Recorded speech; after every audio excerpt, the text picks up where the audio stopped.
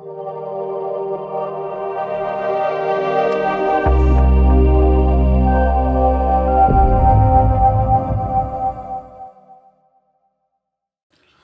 folks, um, I'm cutting some bread for our kids. Uh, these are the loaves that I baked the other, the other day. I've posted about them, but I wanted to show you this morning how easy they are to cut with this wonderful uh, fiddle bow knife.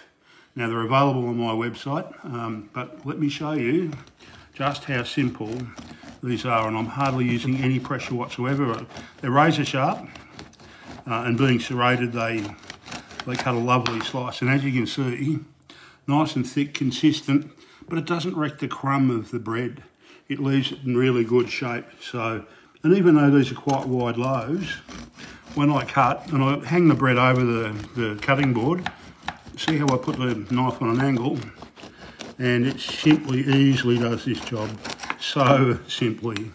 So, if you're looking to cut sourdough, the apprentice. And you need and you need a knife. You know where to go. CraigCastree.com.au. Go up to the shop and uh, order yours today. Bye for now.